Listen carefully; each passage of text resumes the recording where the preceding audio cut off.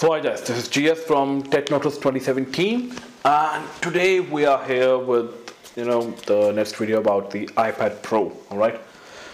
So as told earlier in earlier video that launch awaited update for Mac Mini, Mac Pro, iPads was waited. With the iPhone 10 we got a notch display with Face ID and removal of you can say home button.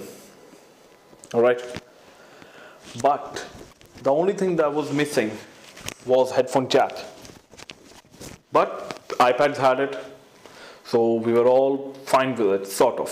Somewhat open with it that it doesn't have a headphone jack and you know all that thing. So when the new ipad pro came out everybody was shocked excited and there are mixed feelings about everything. I mean, for fuck's sake, they removed the headphone jack from the iPad Pro, either 11 inch or 12.9 inch. So I don't know what they were thinking. All right. Mac Mini came with few and most very awesome updates and upgrades like, uh, you know, uh, more doors at the base model and more more doors at the top model. All right with more ram. That too upgradable ram so you know awesome. So and with ssd with good really good um, nvme speed. Because apple's ssds are like you know awesome I'm actually trying to find one so that I can include that into my PC. Right, so I'm watching on it. I'm uh, same thing I'm finding is Apple SSD to a M.2 converter. That'll be toughy, right? So, but in this one, in the Mac Mini, it was soldered. It's not upgradable. Once you get it, you get it. You have to stick with that. But you know, there are as got Thunderbolt 3, so you can add like more storage at the back. Okay, enough about Mac Mini. iPad Pro. So what has Apple changed in iPad Pro? What is so revolutionary that everybody is asking and making videos and reviewing it?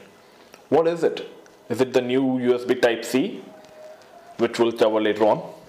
Is it removal of the headphone jack? Or is it the new Face ID? So the Apple, Apple iPad lineup has evolved considerably since the first iPad rolled out in 2012, right? Because there was nothing in that genre uh, at that time. There was Windows RT, which was like you know just plain old,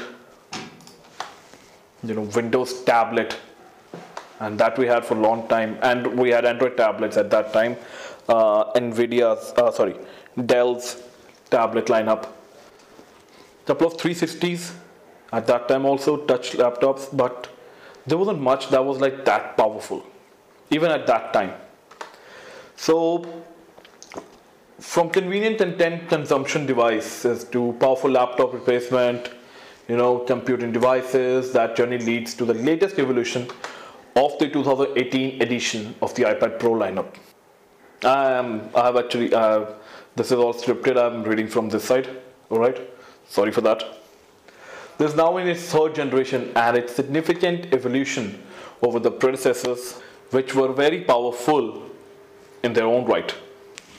Okay, so iPad's biggest, uh, iPad's biggest accomplishment this time around are all about what it doesn't have. First is the headphone jack. Second, no home button below the display. That means no more fingerprint sensor and we are moving towards Face ID on iPhones now and iPads. You know, it will be funny if we find an iPod without headphone jack. That'll be fucking hilarious. Yeah, true. Okay, and that has been enabled by gesture-based uh, controls which iOS 12 brought along with it, while the iPhone 10 ushered that era of for the phone with no home buttons, but notch. Hate it. I hate it. That's why I don't have an iPhone. Right now I'm using a Moto, Moto Z Play and the first gen Pixel. I hate iPhone 10 just because of the notch. Powerful and all, but no. And iPads had to wait a bit longer for that. Right? That means the form factor can be kept more in check and yet have slightly larger displays than they used to have. I've used uh, the iPad Pro 12.9 inch, um, 128 gig version, cellular and Wi-Fi. Beauty. I will say just one word, beauty. The displays like awesome, the speakers are beautiful. Right, I had with the keyboard and the pencil. Man, I loved it. The 120 hertz refresh rate of the screen, marvelous. Right, you know, but with the 11 inch model they have released, that's a little on a different story. We'll get back to you on that one. Right. Then there is no notch that out on the display. That is what I'm happy about. There is a notch on the iPad. If there will be a notch on iPad, trust me, I will not use it. I would have not used it. Right. But I haven't used the new one yet. Right. This all with the, we can say, that I've seen over time by other reviewers and you know with uh, what I've uh, you know read in the news and all. But happily enough, it isn't there. In many ways, the design is quite reminiscent of iPhone 5s thanks to the flat side spines. So earlier it used to be like curved or a little bit of like textured curved. Alright, now it's just plain slab. Not like iPhone 5s, 5, 4, 4s, not 5C, yeah, and SE. And this new design is uh, it's dirt shaved. Uh, a lot has been shaved off from iPad Pro 12.92 at 5.9 millimeter thickness. This is the thinnest iPad Pro ever and if you have seen the video of Jerry everything that I will try to you know put it up here it breaks like a snappy like you can just he just went like and it was fucking done. That to me is a bad design or structural stability. There are a lot of magnets you can connect your pencil on top all that right but it's not structurally strong.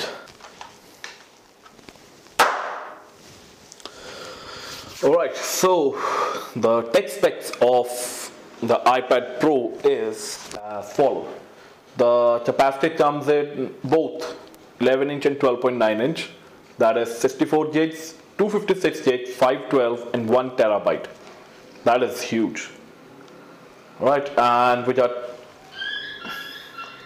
uh, nano SIM tray, smart connector, USB-C connector, volume up and down, microphone, magnetic connector for the Apple Pencil, and a 4K camera, a lot like iPhone 10R.